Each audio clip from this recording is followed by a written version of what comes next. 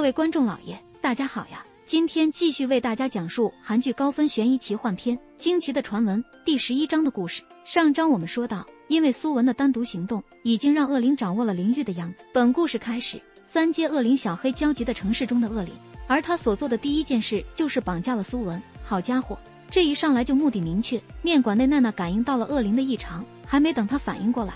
马上接到了小黑打来的视频电话，小黑以苏文为威胁，逼迫面馆的三人前往一处废弃工厂。不得不说，看到苏文有危险，大家都急得焦头烂额。尽管苏文自己怕得不行，但他还是竭力嘶吼，让伙伴们千万别来。猎魔小队怎么可能放弃苏文？几人马上开车前往工厂。到达现场后，三人开始商议对策。在场的恶灵中，短发女小白和小黑是三阶恶灵，他们绝对不能单独对抗，三人一定要抱团。只可惜想象很美好，现实很骨感。小黑也知道三人抱团战力强大，于是早就设下埋伏，找准机会将秋姐拖入小黑屋。真阴险，直接把辅助先抓了。贾哥和娜娜想靠蛮力破开铁门，可就在这时，娜娜忽然感应到小黑要对苏文下手。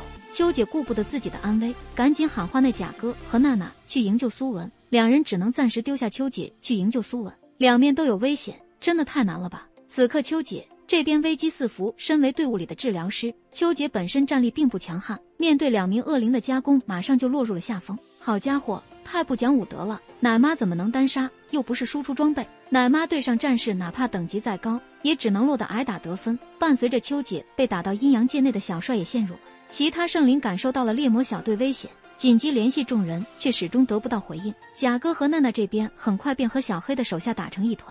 起初还打个有来有回，伴随小黑牺牲掉自己同伴，吸取他的灵魂后，局势彻底一边倒，两人被死死压制住。我的天，看完直呼太卑鄙，居然连牺牲队友来获得能量的事都能干得出，真的坏透了。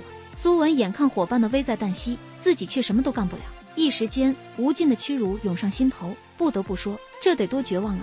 看着朋友被欺负，自己却束手无策。这时，刚才被小黑吸取灵魂的恶灵体内冒出了一团黑气，紧接着冒出了一团绿气。苏文门的响起，贾哥曾告诉过他，黑气代表恶鬼，绿色的气代表生命，是被困在恶灵体内的灵魂。我的天，这都是些什么奇怪的东西？有没有害的呀？伴随着这团绿气猛地的冲进苏文的体内。一瞬间，苏文又能感应到阴阳界的存在。圣灵们听到了苏文的呼唤。与此同时，阴阳界内出现了一位小姑娘，正是刚才被苏文吸入体内的绿气的灵魂。此刻，奄奄一息的秋姐也被抬了过来，看着倒在地上的伙伴，这一刻，恐惧、愤怒、悲伤、无尽的痛苦涌上苏文心头。不得不说，看着朋友一个接一个被打到，是我都愧疚万分。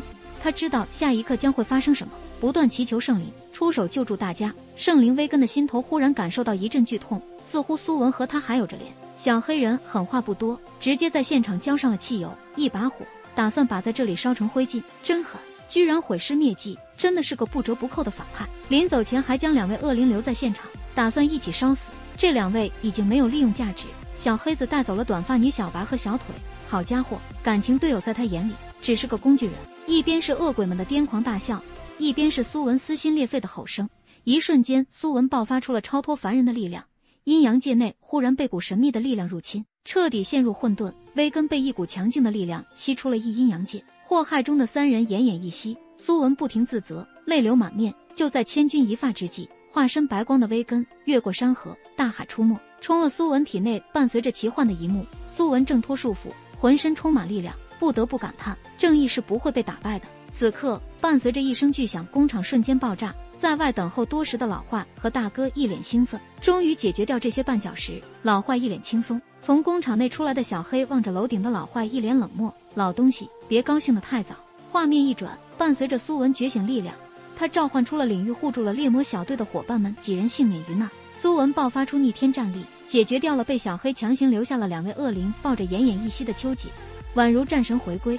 阴阳界内的圣灵侦察官看着现场发生的一切，脸上无比的震惊。很快，在张武的安排下，几人被送往医院。贾哥和娜娜还好，秋姐由于伤势过重，彻底陷入了昏迷。贾哥一时间气不过，直接杀到阴阳界质问圣灵：要不是他们剥夺了苏文猎魔者的身份，好家伙，险些让大家都团灭了。这一切根本不会发生。贾哥和自己的圣灵兰兰爆发的激烈冲突，忽然一股记忆涌入贾哥的脑海，他的记忆零零散散的回来了。隔天一早。被苏文打倒的两位恶灵已经变回了普通人，身上挂着自己罪行的牌子，被丢到了警局门口，等待他们的是牢底坐穿。不得不说，这就是恶人有恶报啊！此刻，医院内的秋姐不省人事，苏文三人陪在秋姐身边。以前别人受伤都是秋姐用神力帮忙治疗，现在队伍里的治疗师受伤，其他人一时间束手无策，心急如焚。屏幕前的我看着都急，秋姐千万要没事啊！这时，娜娜说出了令人意外的消息。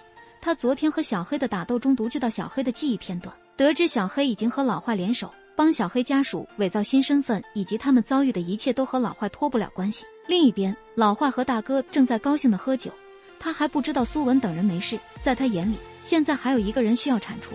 此处我祝你们都没好果子吃，那就是一直在和他们作对的英姐。而小黑这边收到了，老坏给他准备了一大笔钱，打算带着小白前往国外暂避风头，希望你们半路就被抓。画面一转，苏文独自走在路上，忧心忡忡。忽然，他听到了威根的传话，让他来阴阳界一趟。监察官要检查，原来监察官不知出于何种目的，选择的恢复苏文猎魔者的身份。苏文开心到起飞，不得不说，这是一个不错的结果。他终于又能和大家并肩作战。苏文告诉威根，经历了这么多，他终于明白自己不该只是为了父母。他会在今后的战斗中找到成为猎魔者的意义。威根也为自己之前不信任苏文道歉，现场一片其乐融融。可高兴不过三秒，忽然传来了秋姐病危的消息。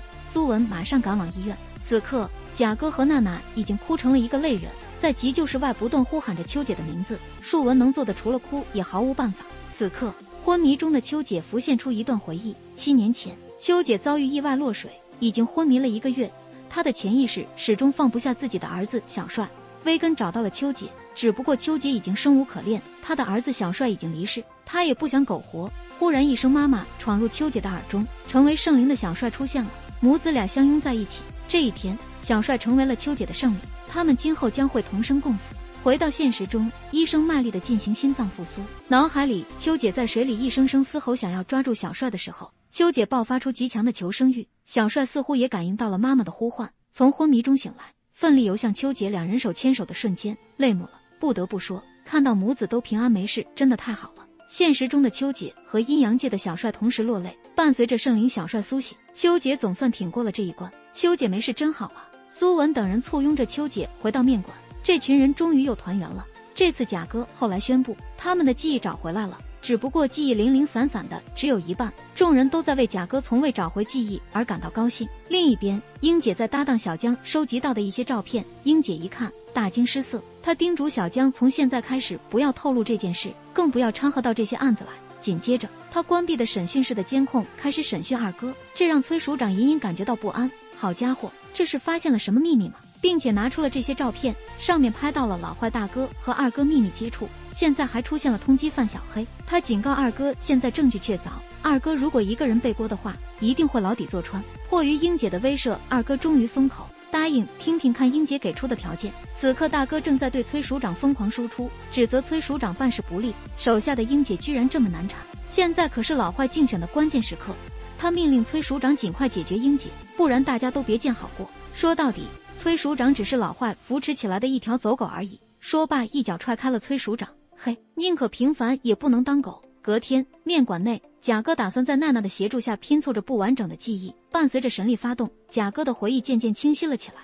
当年贾哥负责小金的失踪案件，一天夜里，苏爸突然找到贾哥，告诉他小金的失踪和正在竞选的市长老坏有关。两人展开了联手调查，终于查到了一个线索：小金的一个朋友可能知道小金被埋在哪里。软磨硬泡了一段时间，小金的朋友终于同意。同时，贾哥答应见面爆料情报。也就是在那天，贾哥遭遇意外，失去了记忆。看来朋友的帮助真的有很大的必要。此刻，贾哥集中十二分精神，报出了记忆中小金朋友的电话号码。不过，也因为头疼，暂时终止了回忆。贾哥联系了英姐，将刚刚得到的号码报给英姐，让她帮忙去查，同时也告诉英姐自己找回了记忆。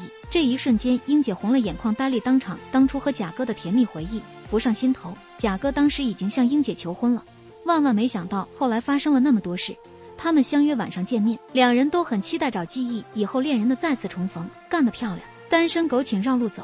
此处开始撒狗粮了。夜里，面馆的小伙伴鼓励贾哥努力追爱，大气的张武更是贡献了张无额度的黑卡供贾哥约会，随便花。